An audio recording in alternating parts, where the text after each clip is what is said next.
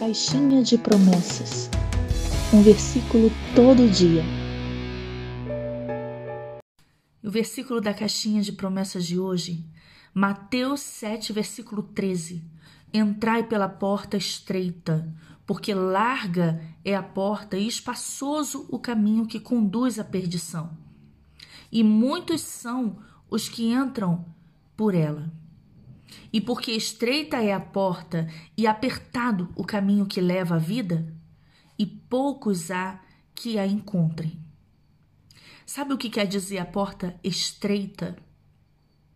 É onde você não pode entrar com os seus pecados, com as suas manias, velhos hábitos que não agradam a Deus.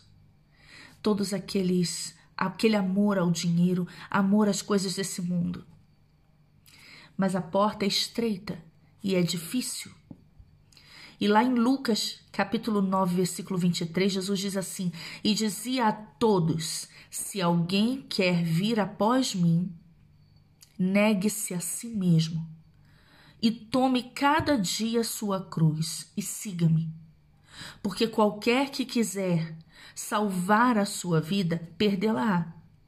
Mas qualquer que por amor de mim perder a sua vida, a salvará. Porque que aproveita o homem granjear o mundo todo, perdendo-se ou prejudicando-se a si mesmo? Porque qualquer que de mim e das minhas palavras se envergonhar, dele se envergonhará o filho do homem, quando vier na sua glória e na do Pai e dos santos anjos.